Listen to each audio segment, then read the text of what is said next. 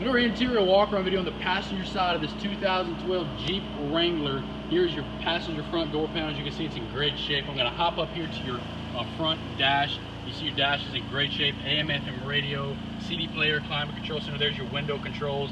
There's your shifter. Gonna hop down here to your floorboard. Your floorboard's in great shape, no major rips or tears.